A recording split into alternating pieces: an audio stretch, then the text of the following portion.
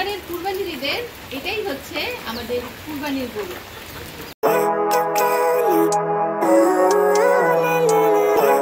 বানিয়ে ফেলেছি এক কেজি ময়দার একশোরও বেশি সিঙ্গারা। আসসালামু আলাইকুম। দেখতে দেখতে কুরবানির ঈদ কিন্তু চলে এসেছে। আর আমরাও ইতিমধ্যে কুরবানির ঈদের প্রস্তুতি নিয়ে ফেলেছি। হ্যাঁ বন্ধুরা, আমরা কিন্তু অলরেডি কুরবানির গরু কিনে ফেলেছি। কি, দেখবেন নাকি? দাঁড়ান দাঁড়ান, এক্ষুনি দেখাচ্ছি। তো চলুন দেখে নেই, এবারের ঈদে কুরবানি দেওয়ার জন্য আমরা কেমন গরু পছন্দ করলাম।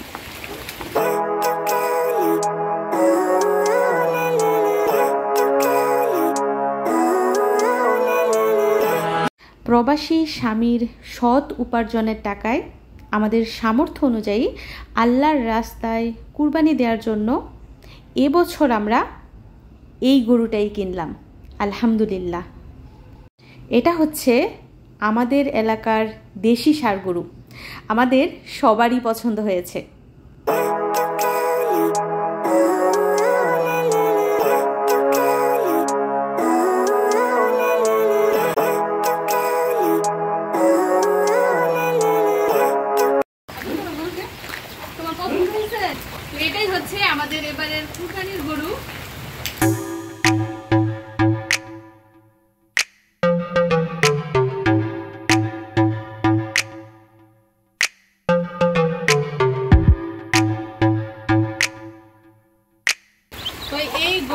দাম কত?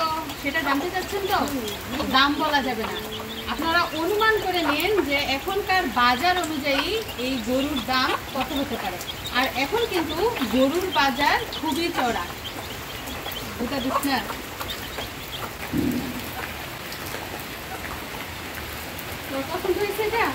হ্যাঁ? শুধু বলতেছে, গরুর বাচ্চা কোথায়? এই গরুর সাথে বাচ্চা হয় না। এটা হচ্ছে আল্লাহর রাস্তায় কুরবানি দেওয়া হবে। এই গরুটা কিন্তু আমাদের এলাকা থেকেই কিনা হয়েছে আমার আব্বার মাধ্যমে। তো এটা আপাতত এইখানেই থাকবে। ঈদের আগের দিন এই গরুটা আমার শ্বশুর বাড়িতে পৌঁছে দেওয়া হবে। তো আমাদের সামর্থ্য অনুযায়ী এবারের কুরবানির ঈদে আল্লাহর রাস্তায় এই গরুটাকেই কুরবানি দেওয়া হবে। তো বন্ধুরা, আপনারা দোয়া করবেন, আল্লাহ যেন আমাদের কুরবানি কবুল করেন, মঞ্জুর করেন। আর এবার আগে ভাগেই কিন্তু আমরা কুরবানির পশু কিনে ফেলেছি। দৌড়াদৌড়ি করতে, গরু খুঁজে বের করতে অনেক ঝামেলা হতে পারে, এজন্য আগে ভাগেই কিনে রেখেছি। এটা আমাদের বাড়িতেই থাকবে। ঈদের আগের দিন এটা আমার শ্বশুর বাড়িতে পৌঁছে দেওয়া হবে। তো এবারের কুরবানির ঈদের এটাই হচ্ছে আমাদের কুরবানির গরু। দেখেছ? আমাদের গরু দেখেছ? দেখেছ তুমি? তুমি আগে দেখে ফেলেছ। এই যে এইখানেই গরু, আমাদের বাকি গরুর সাথে নিরাপদে আছে, মশারির নিচে। তো এইখানে যে যত্নটা পাবে, আমাদের বাড়িতে নিলে কিন্তু দেখাশোনাও করা যাবে না, প্লাস যত্ন নেওয়া যাবে না। তো এইখানেই গরু ভালো থাকবে, তো এইখানেই রেখে গেলাম।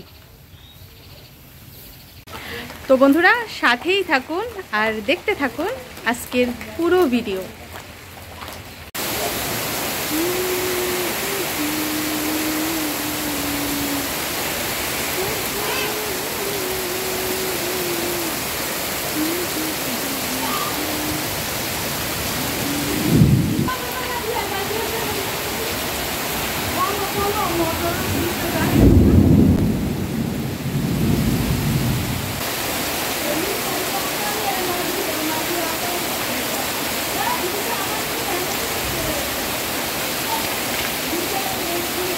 তো আগামী পনেরো বিশ দিন এই গরুটা এইখানেই থাকবে, এইখানেই লালিত পালিত হবে। ঈদের আগের দিন আমার আব্বা এই গরুটা আমার শ্বশুর বাড়িতে পৌঁছে দিবে। আজকে বৃষ্টির দিনে হঠাৎ করে ইচ্ছে করছে সিঙ্গারা খেতে। তাই নিজের হাতে বানিয়ে ফেলব সিঙ্গারা। তো সিঙ্গারা বানানোর জন্য প্রথমেই নিয়েছি এখানে আলু কিউব করে কেটে। তারপর নিয়েছি কয়েক টুকরা গরুর মাংস, ছোট ছোট পিস পিস করে। রয়েছে পেঁয়াজ কুচি, মরিচ কুচি, আর সাথে রয়েছে ময়দা। তো এই উপকরণের সাথে কিছু মশলা মিশিয়ে বানিয়ে ফেলব সিঙ্গারার পুর। তো বন্ধুরা, সাথেই থাকুন।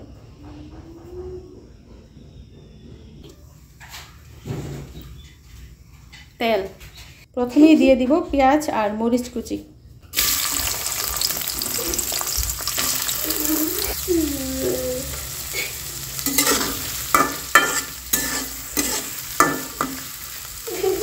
তারপর দিয়ে দিচ্ছি পরিমাণ মতো লবণ। এ পর্যায়ে দিয়ে দিচ্ছি রসুন বাটা আর আদা বাটা।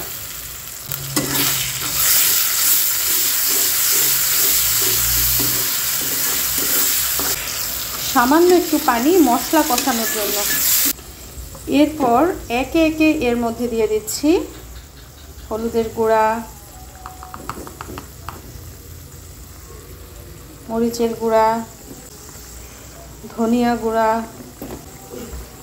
জিরে গুঁড়া আর গরম মশলার গুঁড়া। এই যে ছোট্ট হাত চলে এসেছে সিঙ্গারার পুরের মধ্যে নাড়াচাড়া করার জন্য। আমার ছোট্ট রাঁধুনি।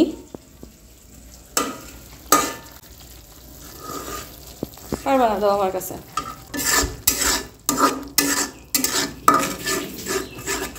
এদিক দিয়ে মশলা কষে গেছে, এখন এর মধ্যে দিয়ে দিব গরুর মাংসের ছোট ছোট পিস করে রাখা টুকরাগুলো।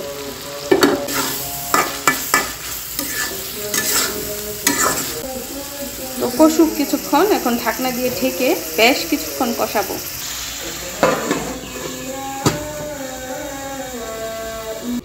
তো প্রথমে একটা বলের মধ্যে যে আমি ময়দাগুলো ডেলে নিচ্ছি আপনারা হচ্ছেন আমার ঘরের মানুষ। আমি যে জিনিসগুলো ব্যবহার করি, সেই ব্যবহারের জিনিস দিয়ে কিন্তু আপনাদের সাথে আমার রান্নার রেসিপিগুলো শেয়ার করি। তো ময়দার মধ্যে দিয়ে দিচ্ছি পরিমাণ মতো লবণ। তারপর দিয়ে দিচ্ছি চিনি। এরপর দিয়ে দিচ্ছি তেল। এখন আমি হাতের সাহায্যে খুব ভালো করে এই ময়দাগুলো মেখে নিব। তো গরুর মাংসগুলো কিন্তু খুব ভালো করে সিদ্ধ হয়ে গেছে এবং কষানো হয়ে গেছে। তো এ পর্যায়ে এখন এর মধ্যে দিয়ে দিব এই যে কিউব করে কেটে রাখা আলুর টুকরা। সিঙ্গারা মানেই তো আলু, তাই না বন্ধুরা? সিঙ্গারার কথা মনে পড়লেই আমাদের আগে মাথায় আসে এই আলুর কথা। তো আজকে আমি আলুর সাথে যোগ করলাম গরুর মাংস। গরুর মাংস আর আলু দিয়ে বানিয়ে ফেলব মজাদার সিঙ্গারা। আরও বেশ কিছুক্ষণ কষাতে হবে যতক্ষণ না পর্যন্ত আলুগুলো সিদ্ধ না হয়। ঢাকনা দিয়ে ঢেকে দিচ্ছি। আর এখানে কিন্তু আমি এক কেজি ময়দার সিঙ্গারা বানাচ্ছি। তো আজকে কিছু খাব আর বাকিগুলো ফ্রিজে রেখে দিব, পরে ভেজে খাব। তো আমি এখানে অল্প অল্প করে পানি মিশিয়ে তারপর হাতের সাহায্যে খুব ভালো করে এই ময়দাগুলো মেখে নিব। ময়দা মাখিয়ে গোল্লা বানিয়ে ফেলেছি। এখন এইখান থেকে অল্প অল্প করে ময়দা নিয়ে বানিয়ে ফেলব সিঙ্গারা। আর এদিক দিয়ে আমার আলুর কি অবস্থা একটু দেখাই। সিদ্ধ হচ্ছে, কিন্তু সময় লাগবে। সাথে একটু পানি দিয়ে দিয়েছি। হয়ে গেছে রান্না, আর আলুগুলো আমি একটু খুলে খুলে দিচ্ছি। এখন আমি চুলাটা বন্ধ করে দিব। সিঙ্গারা বানানোর জন্য বেলুন পিড়ি রেডি পুরো রেডি আর ময়দা, সেটাও রেডি এখন অল্প অল্প করে ময়দা নিয়ে রুটি বেলে নিব, তারপর এটাকে দুইটা করে টুকরা করব। তো সাথেই থাকুন। তো বেলে নিলাম, একটু লম্বা করে এখন এটাকে দুই টুকরা করে ফেলব।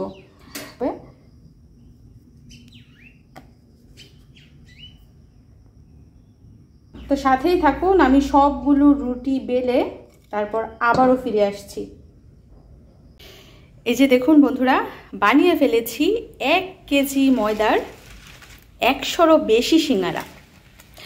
হয়তোবা শেপটা ততটা সুন্দর হয়নি, তবে চেষ্টা করেছি নিজের মতো করে বানানোর। তো এখন এই সিঙ্গারাগুলো সরাসরি এই ডিপ ফ্রিজের মধ্যে রেখে দেব। এর গা একটু শক্ত হলে তারপর আমি এখান থেকে বের করে বক্সে বক্সে ভরে রাখব যাতে করে একটার সাথে আরেকটা না মিলে যায়। তো এখন আমি কিছুক্ষণের জন্য এই সিঙ্গারাগুলো ডিপ করে নিচ্ছি।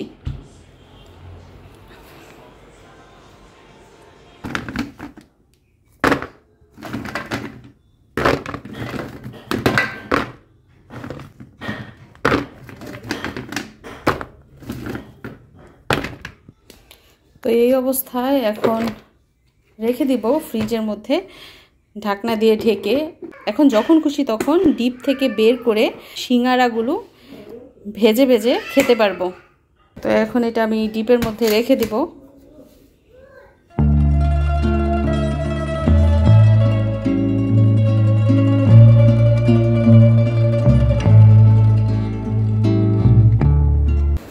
এই যে দেখুন কেমন অবস্থা হয়েছে? এখন এটা সরাসরি আমি তেলের মধ্যে ভাজবো। কিছু সিঙ্গারা এখন ভেজে নিয়েছি, গরম গরম খাব, আর বাকি সিঙ্গারাগুলো আবারও ডিপেই রেখে দিব।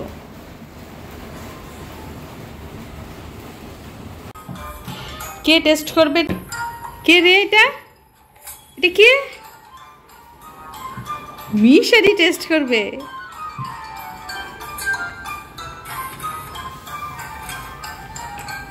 গরম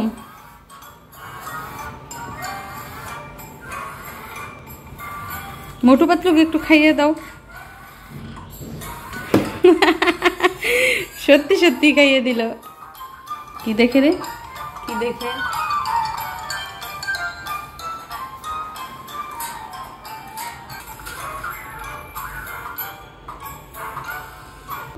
অনেক টেস্টি অনেক টেস্টি তুমি কয়টা খেতে পারবে এখান থেকে? দশটা। এবার চাপা মারলো আর কি। দশটা। তো এই যে মরিচ পেঁয়াজ দেখতে পাচ্ছেন এগুলো কিন্তু আমার জন্য। মিশারি আবার মরিচ পেঁয়াজ খায় না। শশা কেটে দেবো? দাঁড়ো শশা কেটে আনি।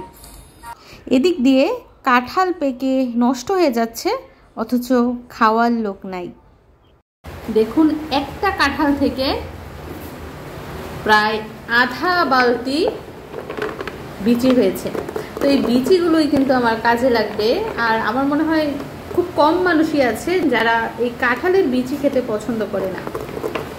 তবে আমার খুবই প্রিয়, তো এখন এগুলো ভালো করে ধুয়ে তারপর রোদে শুকাবো। এই যে দেখুন দেখুন বন্ধুরা, একটা কাঁঠাল থেকে মাত্র মাঝারি সাইজের একটা কাঁঠাল থেকে কতগুলো বিচি হয়েছে? আমাদের বিচিওয়ালা কাঁঠাল। দেখে নিলেন তো? আমাদের এবারের কুরবানির গরু। আমাদের সামর্থ্য অনুযায়ী এই গরুটাই কিন্তু আমরা কিনেছি। তবে কত দামে কিনেছি সেটা কিন্তু বলা যাবে না। আপনারা দোয়া করবেন, আল্লাহর রাস্তায় যেন আমরা সহি সালামতে এই গরুটা কুরবানি দিতে পারি।